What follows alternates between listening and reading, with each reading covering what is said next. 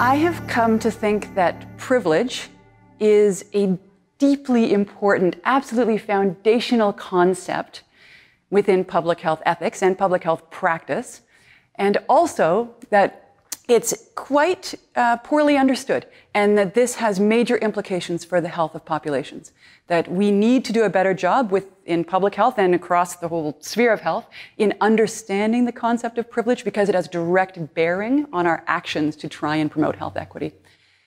So, specifically, I think about privilege in a particular way. I think about it as the unearned advantage that people receive from systems of inequality. And I have a model of a coin that I use to help me make sense of this. So if the coin is the system of inequality, so the broad historic structure that's in place that we're all socialized into, this is not about individuals, this is about a system, a structure like racism, like settler colonialism, like ableism, like sexism and patriarchy, like heteronormativity, these big, big structures. Well, you find yourself in relation to that structure, not by choice, but by virtue of who you happen to be. So, for instance, if it's racism, people who receive unearned disadvantage from racism are racialized folks, folks who are black and brown. If this uh, coin is settler colonialism, the people who are unfairly uh, disadvantaged by settler colonialism are indigenous folks, right? And these are the folks that are so expert on how these coins operate, these systems of inequality. That's where the expertise lies, and that's where the historic movements for change have, have been driven, right? There's also a top of the coin. And this frequently is completely shaded from view, all right? If there's even an, an understanding that there's a coin, frequently public health is framed as if it's in charge of or seeking to make things better for folks who are on the bottom of the coin. But can we draw attention up to the coin itself? And can we come to conceive that there's a top of the coin? In the same way that people receive unearned disadvantage, there's a corollary position. Folks who receive unearned advantage, not because they choose to, but because of who they happen to be. The same way that racism gives unearned disadvantage to racialized folks, it gives unearned advantage to folks who are white. They might not know it, you may not ask for it, you get it nonetheless. The same way that settler colonialism, that coin, gives unearned disadvantage to folks who are indigenous, it gives unearned advantage to folks who are not indigenous, also known as settlers. In fact, we've heard of white. Many people haven't even heard the term settler. It's so invisible, the top of the coin is so invisibilized that we frequently don't even know it exists. So I think of privilege as this position on the top of the coin. And it matters. It matters deeply that this top of the coin position gets invisibilized, right? It gets, it's, we have lots of names in public health for the folks on the bottom of the coin, right? Disadvantaged communities, marginalized populations, key populations, priority neighborhoods, hard to reach populations, hard to serve, on and on and on. What are the common names in public health for the folks, the populations on the top of the coin, whose health outcomes are better because of the unearned advantage they receive? Now, what do we call all those folks in, in practice and in research? We don't call them anything, right? There is no name for that. We don't even have a nomenclature for this top of the coin.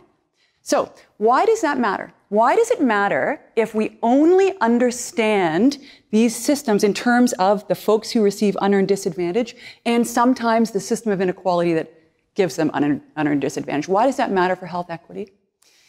I'll propose that it matters for at least two really, really important reasons. The first is because what you frame as the problem sets the universe of possible solutions that will follow. All right? What you frame as the problem, if I frame the problem as folks on the bottom of the coin, I will only come up with solutions that address that problem.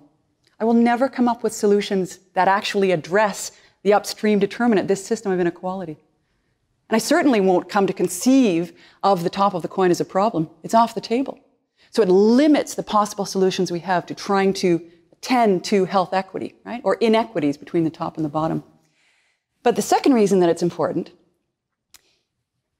and this, this is so big and yet so unspoken in public health, this has been my experience, is that by invisibilizing the top of coin, it makes it possible for folks in public health who find themselves in that position on the top of the coin, right? So white folks who are interested in doing anti-racism work, non-indigenous folks interested in trying to reduce indigenous settler inequities, straight folks trying to work against heteronormativity, able-bodied folks trying to dismantle ableism.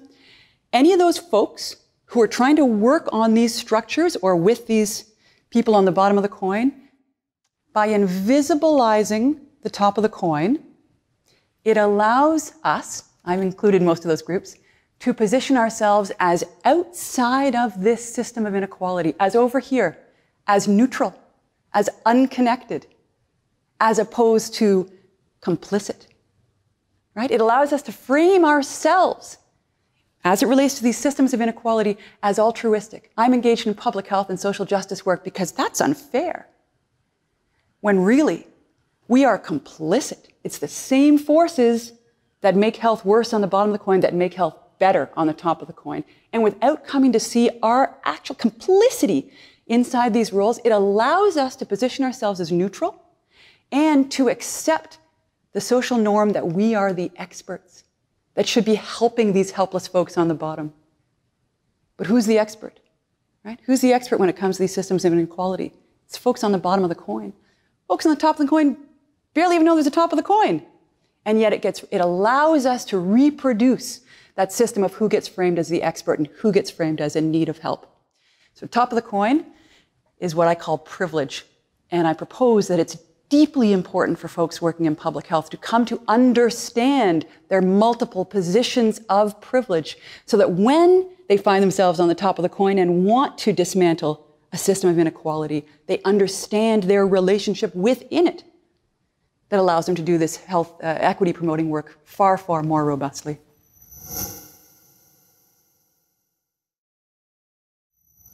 I understand allyship and its role in public health in a very specific way, and it relates to my understanding of privilege. So if you'll recall, the coin is a system of inequality. People who find themselves on the top of the coin, I talk about as being in a position of privilege. I propose that allyship or practicing allyship is the orientation for folks who find themselves on the top of a coin who wish to dismantle the coin. So allyship or practicing allyship is an orientation for white folks who would like to work on racism, for straight folks who would like to work on heteronormativity, for um, settlers who would like to attend to indigenous settler inequities. And this uh, requires quite a dramatic reorientation from the typical way that society views the role of folks up here.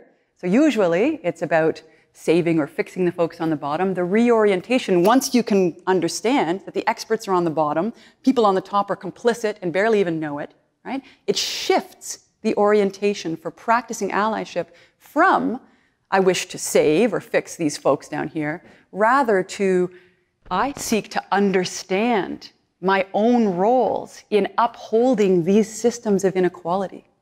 I seek to learn from people on the bottom of the coin. And if I'm going to work with folks on the bottom, it's not as the expert that's going to help them. It's working in solidarity with them so that we can all be dismantling the coin. So how to do it, right? What are, what are some first steps? And one of the very first steps is to come to understand the coins for which one finds oneself on top. Right? All of us are on the top of some, on the bottom of others. And that's what some folks would talk about as intersectionality. The different ways that our social identities give us a free lift sometimes and give us uh, quite harmful oppressions in other times. So the first step is figuring out, so which coins am I on the top of?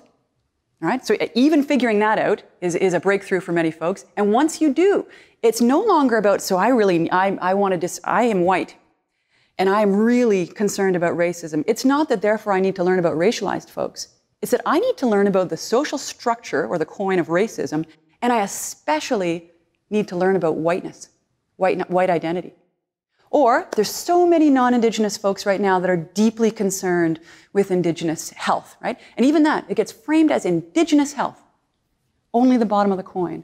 Well, if you're a non-Indigenous person concerned with Indigenous health, a first step in terms of practicing allyship is to learn about settler colonialism and the identity on the top, to learn what does it mean to be a settler, right?